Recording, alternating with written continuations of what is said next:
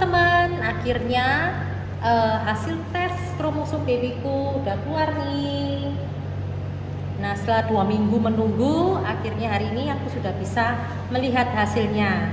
Nah aku mau kasih tunjuk ke kalian ya hasilnya seperti apa. Buat kalian yang belum tahu apa sih tes kromosom atau NIPT, kalian bisa lihat di videoku sebelumnya ya. Itu aku kasih tahu jelas uh, detail apa sih tes NIPT atau tes kromosom untuk baby ya. Nah, ini hasil tes NIPT dari babyku ya. Jadi yang paling penting adalah trisomi tiga kromosom ini, kromosom 13, 18 dan 21. 13 itu untuk tahu apakah ada sindrom Patau atau enggak, 18 untuk sindrom Edward atau enggak, Eh, kemudian yang 21 ini untuk tahu apakah babymu ada Down syndrome atau enggak. Dan puji Tuhan hasilnya dari punyaku adalah semuanya adalah loris ya teman-teman ya. Jadi kalau loris itu berarti sehat babynya dan enggak ada kelainan kromosom. Kalau ada kelainan kromosom maka hasilnya di sini adalah high risk ya.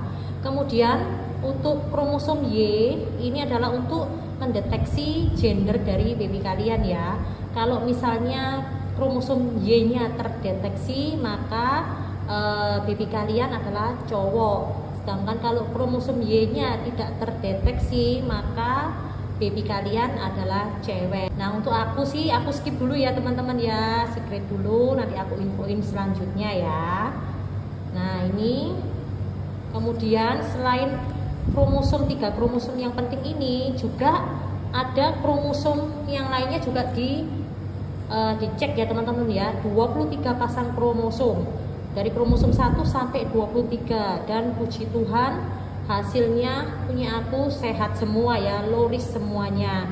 Kemudian uh, ini kromosom 1 sampai 14 kemudian ini kromosom nih 15 sampai 22 semuanya luris sehat puji Tuhan. Nah, kemudian ada juga tes untuk mengetahui apakah ada kelainan kromosom seks atau enggak di uh, baby kalian. Ya, ini XO, XXY, XYY atau triple X. Nah, puji Tuhan juga hasilnya untuk babyku uh, sehat luris semuanya. Ya, puji Tuhan.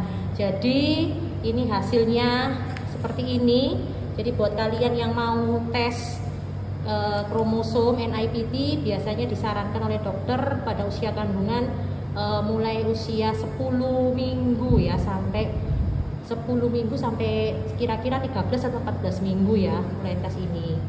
Ya, cuma ini aja sih hasilnya seperti ini teman-teman. Ya. Aku tesnya pakai First Way karena uh, akurasinya mereka jamin 99% jadi kalau misalkan hasilnya meleset dari hasil mereka, maka ada kompensasi juga dari mereka ya. Oke teman-teman, semoga informasi ini bisa berguna, bermanfaat buat kalian semua yang masih belum mengetahui tentang apa itu tes NIPT atau tes kromosom buat baby kalian ya dan semoga yang lagi hamil semuanya saya doakan sehat-sehat semua buat semua pejuang dua garis yang lagi juga menantikan kehamilan tetap semangat ya tetap semangat aku doain semoga kalian juga cepat nyusul oke okay?